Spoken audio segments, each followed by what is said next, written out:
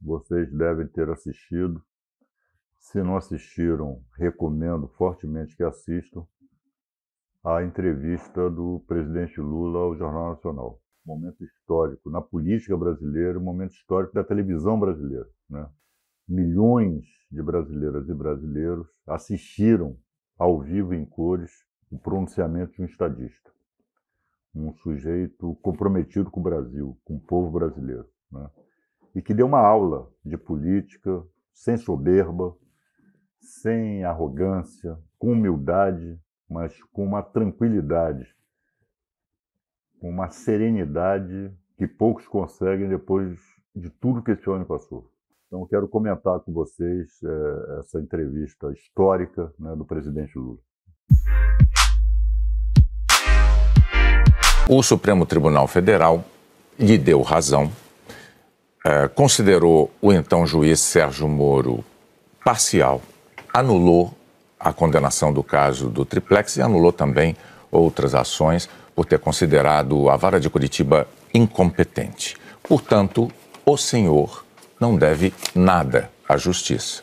Eu achava que a Globo iria é, apertar né, o presidente Lula da forma como sempre fez no tema da corrupção, já que a Globo ela tenta levar essa eleição para o segundo turno, porque uma coisa é o candidato ganhar no primeiro turno, ele tem que negociar com ninguém e não precisa estar fazendo essa ou aquela concessão para montar governo, para poder governar. Acho que a Globo é, entende que Bolsonaro tem que ser uma página virada da história, né? É, mas o Lula não pode sair do controle. Eles devem ter ali né, arquitetado. A Globo é, uma, é um órgão político. Né? A Globo planeja estrategicamente as suas ações. Eles sabem que não podem errar a mão, porque ao invés de levar a eleição simplesmente para o segundo turno, podem é, é, é, é, estar facilitando uma vitória de Bolsonaro no segundo turno. E a Globo resolveu é, aderir ao Estado de Direito. Essa é a parte mais importante dessa é, introdução do William Bonner. Né? E não poderia ser diferente. O Supremo Tribunal Federal anulou todas as condenações e a Justiça de primeiro grau simplesmente sequer aceitou denúncias contra o presidente Lula. Foram 26 atestados de inocência. E finalmente a Globo reconheceu isso. Houve corrupção na Petrobras. E, segundo a Justiça, com pagamentos a executivos da empresa, a políticos de partidos como o PT, como o então PMDB e o PP. Candidato, como é que o senhor vai convencer os eleitores de que esses escândalos não vão se repetir? Ô, Bonner, primeiro eu acho importante você ter começado esse debate com essa pergunta. O PT, né, durante décadas, não diria décadas, mas durante muitos anos, e particularmente o presidente Lula, foram alvo de acusações gravíssimas de corrupção.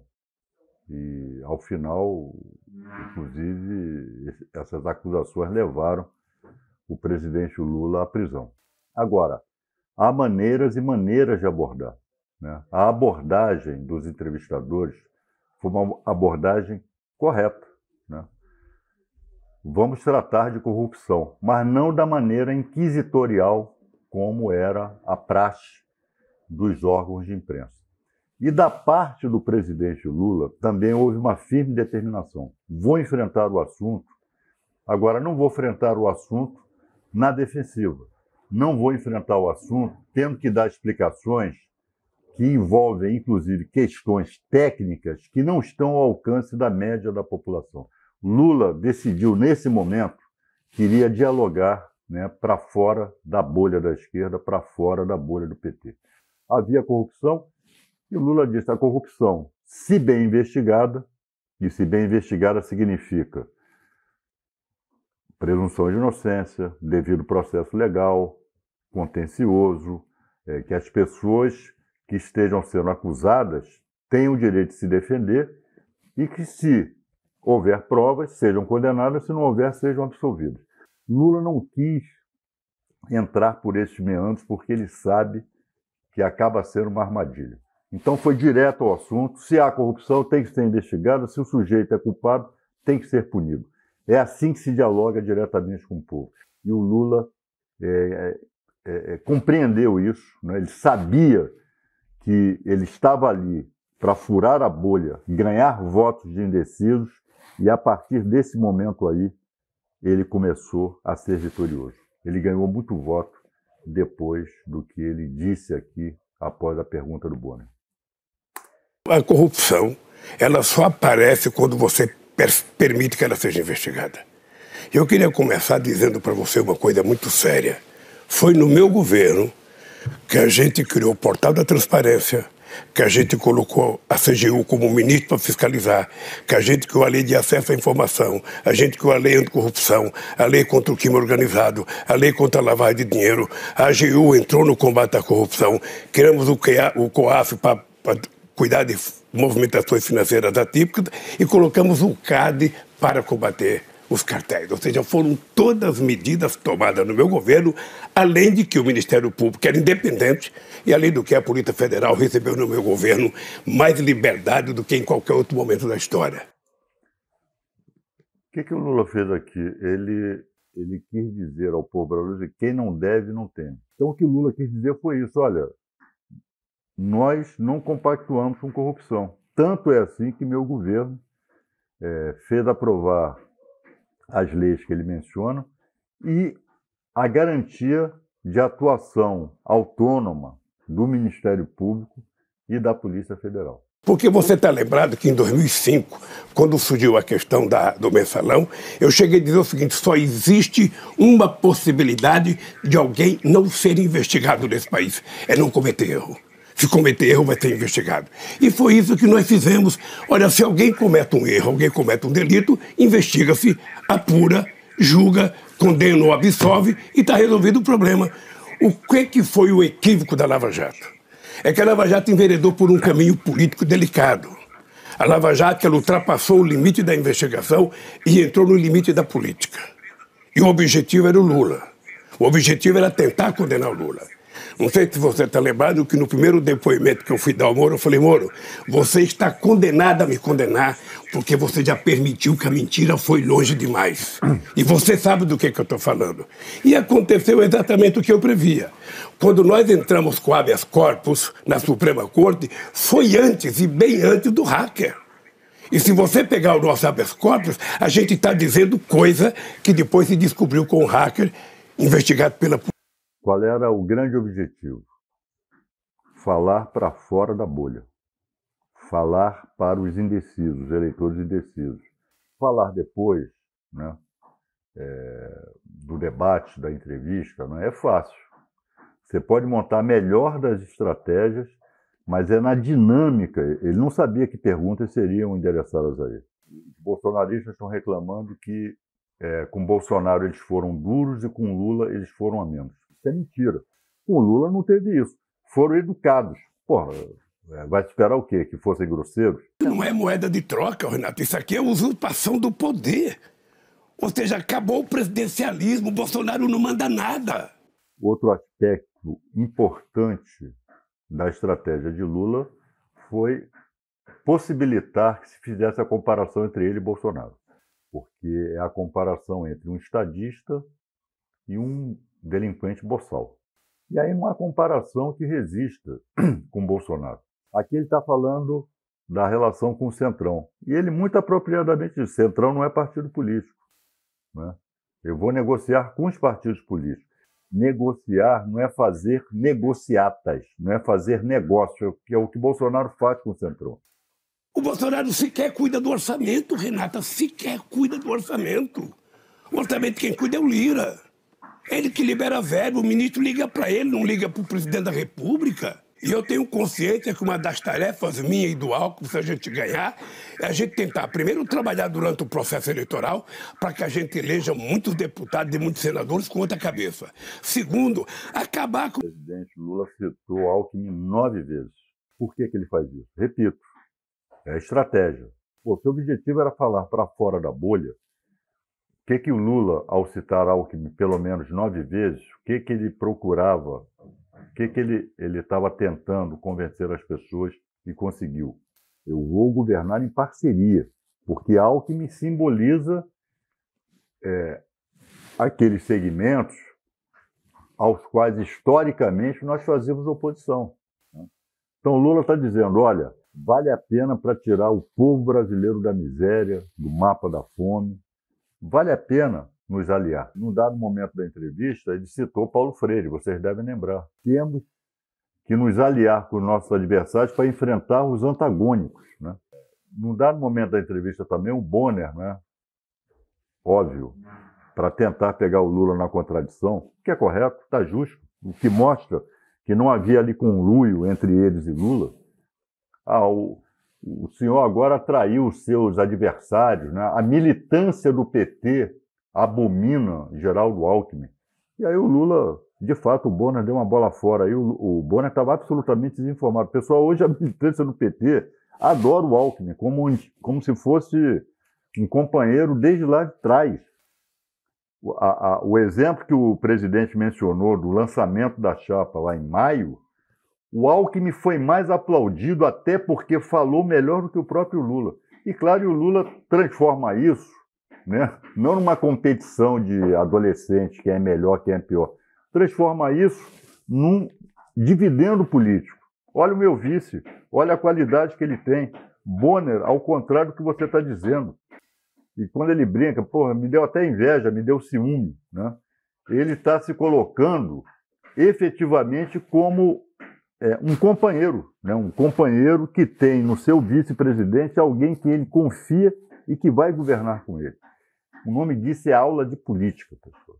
Né? E, e, o Lula é o maior professor de política que nós temos aqui no nosso país. Né? Acabar com essa história de semipresidencialismo, de semiparlamentarismo no regime presidencial. Mas, sabe... E hoje não é só o presidente da República. Aqui também ele fala como estadista. Porque como é que Bolsonaro ele afirma uma suposta, uma suposta autoridade? Bolsonaro não tem autoridade. Bolsonaro é um sujeito pessoalmente fraco, pessoalmente frágil, no aspecto intelectual, no aspecto moral, no aspecto político, no aspecto ideológico. É um sujeito frágil, fraco. Como é que ele faz para compensar isso? Ele constrói uma personagem, uma persona, né? ao defender armamento da população, ao ser grosseiro, ao atacar mulheres, ao atacar negros. Né? É, é, é, ele mostra, ele tenta mostrar uma autoridade, e isso não é autoridade em lugar nenhum do mundo, né? é, que ele não tem. Ele não nasceu com ela. O presidente Lula aqui, né, quando chamou Bolsonaro de bobo da corte, diz que ele não, não sequer cuida, sequer administra o orçamento? Que quando alguém quer pedir emendas, etc., não liga para o presidente, liga é, para o parlamentar, né? É, mostrando que Bolsonaro é um fraco e não governa. Né? E ao ele dizer temos que acabar com essa história de semipresidencialismo, de semiparlamentarismo, ele está querendo dizer o seguinte: a autoridade no sistema constitucional brasileiro é do presidente da República. Então ele afirma perante o povo a sua autoridade. Os governadores dos estados estão refém dessas emendas secretas também. Porque antigamente o deputado ia conversar com o governador para fazer a aplicação de verba. Hoje os deputados não conversam mais. Tem deputado liberando 200 milhões, 150 milhões, 100 milhões. Isso é um escárnio. Isso não é democracia. Então essas coisas pode ficar certa. Pode ficar certa que nós vamos resolver. Só Bolsonaro e o Centrão defendem o orçamento secreto. Como é que vai se questionar o presidente Lula quando ele diz que vai acabar com isso? Quando ele diz que isso é mais crescência, né? porque a própria Globo é, ataca o orçamento secreto. Né? A importância de eleger um Congresso Nacional democrático, antenado com os interesses do povo brasileiro, de ir para as urnas sem ódio, sem rancor, ir para as urnas com consciência. Né? A questão da nossa política em defesa, sabe, da Amazônia, a nossa política em defesa do Pantanal, a nossa política em defesa da Mata Atlântica, ou seja, a nossa luta contra o desmatamento faz com que eles sejam contra nós. Então, nessa parte aqui, até aqui eu faço ligação com uma futura atuação minha no Congresso Nacional, na Câmara dos Deputados, caso eu seja eleito. que muitas dessas questões que o presidente Lula formulou aqui, né, em relação ao meio ambiente, em relação à economia, né, é, uma economia voltada para o interesse popular, de tirar o, o Brasil mais uma vez do mapa da fome, muitas delas vão passar pelo Congresso Nacional. E eu quero estar lá para ajudar o presidente Lula, não só na defesa retórica dessas políticas, mas também no plano do processo legislativo. Nós temos, eu quero colaborar com isso, de apresentar uma legislação de proteção ambiental moderna, contemporânea, né?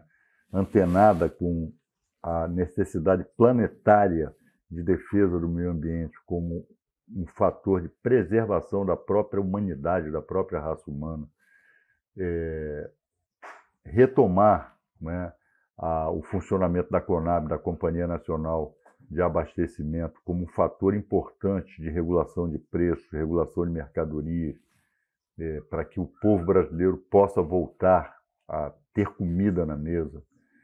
Políticas né, voltadas para, para o emprego, né, é, que você deve, pode aperfeiçoar também, apresentando leis né, que apontem para esse caminho. Né? Então, é, é, o que o presidente Lula é, falou ontem né, é, me toca no sentido de que não é uma fala meramente retórica, não é uma fala abstrata né, para ele ser aplaudido. Né, é, é, como defensor de bons valores. Não, é algo concreto e que vai ter que se concretizar lá no Congresso Nacional e eu quero estar lá, apresentando leis de boa qualidade, leis que ajudem efetivamente a tirar o povo brasileiro né, desse atoleiro, dessa, desse cenário de miséria né, em que Bolsonaro né, nos mergulhou. Eu criei um grupo de amigos junto com os Estados Unidos, junto com a Espanha, para resolver as pendengas entre a, a Venezuela e a Colômbia. Você está lembrado que eu tinha 87% de bom e ótimo quando um deputado do PT resolveu propor uma emenda no Congresso Nacional por terceiro mandato e eu não quis. Eu estou favorável à rotação, sabe, do poder.